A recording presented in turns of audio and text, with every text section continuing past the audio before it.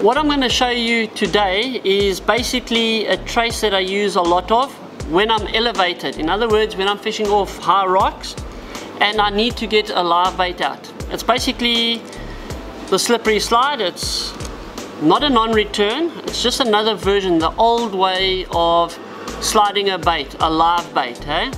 So very simply what we require for it, our slippery slide, our live bait slide, 4 50 60 it's up to you depending on the size of the hook that you're going to be using. The baits that we're going to be doing today with it is either live mullet, which I'm going to, unfortunately I've only got a dead one, cone sinker or grapnel, it's your preference, some latex cotton, kingfisher 25 kilo. You can use lighter if you want, you can go down to 21, 19, depending on how light or how small the fish are that you're trying to target.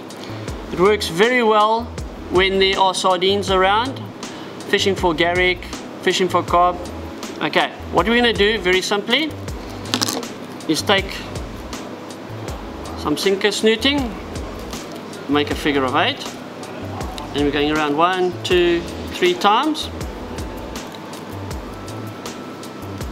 There's your figure of eight, slide it down, cut the tag end off. Cut a very short piece. This part will go to the ring. Okay, it doesn't go to the swivel, it goes to the ring.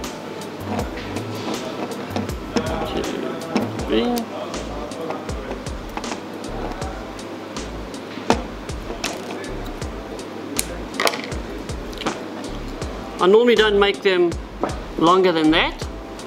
The reason being is when the live bait gets down to the bottom and you hook up with a fish, you need that part of it to actually pick the sinker. And I'll show you as I'm going how it works. Okay, so there's my sinker, lovely. I'll throw it out.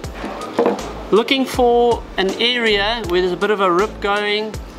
Um, if there's sardines around, bait fish around, I'll try and throw right into them to make the trace. Again, this gets a little bit harder. I'm just going to take two of these swivel, uh, these hooks, these soy rings, and they're lovely sharp hooks. Put that aside. We're going to put them back to back. You can use a treble if you want. Um, if you do, a 1-0 is more than big enough for it. But I like my back-to-back -back hooks. And to make the back-to-back -back hook, just take some latex cotton, pinch it in your fingers, and just tie it up.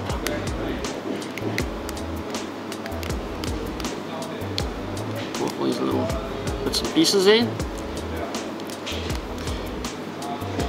What I suggest you do is, instead of doing it on the beach, is do them at home at night while you're watching your favorite TV show.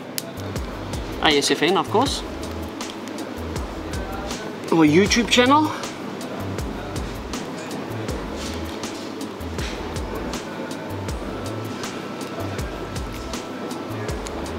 Basically, that's pretty much the end of it. To finish it off, what we do is we just do a round circle over it. Take our fingers around, through. It's called a whip finish. That's all it is. It's just a simple whip finish. Take your fingers around, fingers around, do it a couple of times, pull tight, and that's the end of that. Take a nylon, go through both eyes, and form a figure of eight.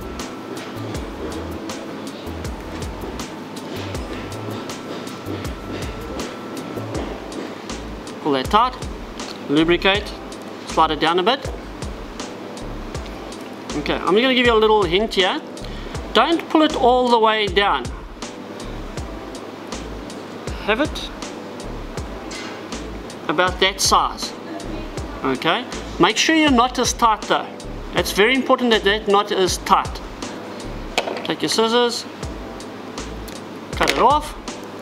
You want a bit of movement in this okay when you hook the garrick or uh, a carbonate that knot will pull tight we make this just over a meter and a bit meter and a half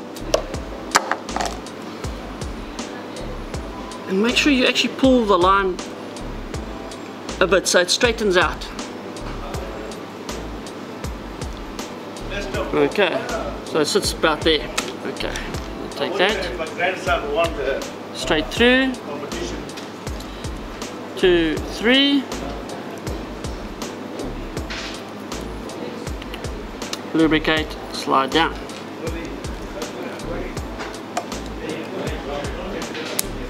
Okay, so what you're going to do is, there is your um, trace. You're going to throw, like I said, your sinker out. It's going to sit in the sand nicely, either grapnel or cone. We're then going to get your live bait. If it's a mullet, if you've got a mullet, and this is quite big, I'd have used bigger hooks, but normally the mullet you want are about that size.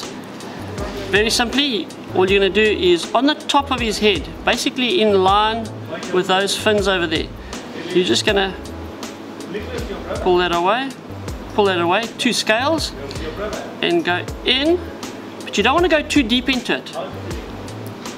Over and around. And that's basically what you're doing.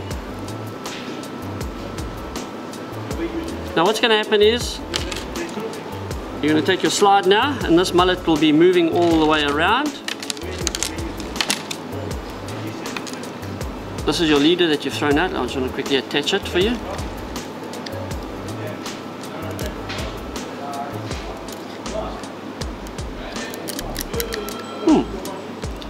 You want to find the end, you can't find the end.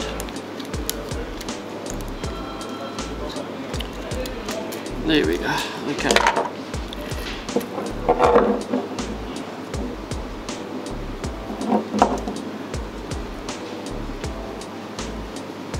Figure of eight on your leader.